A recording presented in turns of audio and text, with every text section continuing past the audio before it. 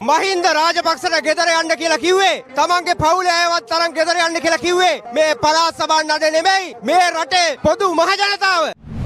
කොළඹ ජනාධිපති කාර්යාලය ඉදිරිපිට ජනතා අරගලය ජනාධිපතිවරයාගේ හා අගමැතිවරයාගේ මේ ස්ථාවරයට එකඟද.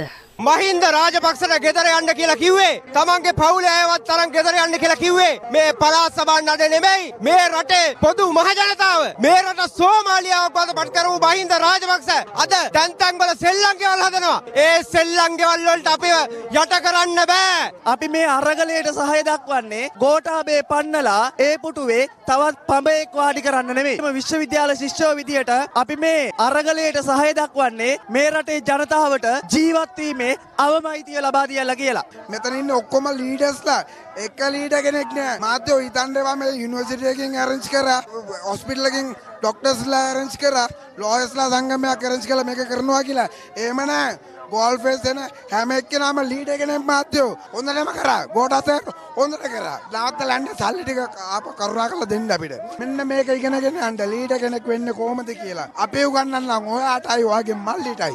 අරගල දාලා යන්න. මේ ආපු හැම තරුණයෙක්ම තරුණියක්ම ජනතාව අරගල ඉවරනකම් මේකේ මතරින්නේ මොන දේවල් පෙන්වුවා? මැජික් පෙන්නුවට ආරගලේ අවසාන බලාපොරොත්තු තුරනකම් අප මේක නවත්තන්නේ ගෝල් හෝම් ගෝටා නිකන් යන්න බෑ. අපේ ලංකාවේ තිබ්බ සියලුම සියලුම සල්ලි අපේ ජාතීන්ගේ තිබ්බ සියලුම සල්ලි අපිට දීලා තමයි එතුමාට යන්න වෙන්නේ. එතුමාට නිකන් යන්න බෑ. එතුමාට යන්න වෙන්නේ එක්ක හිරගෙදරට?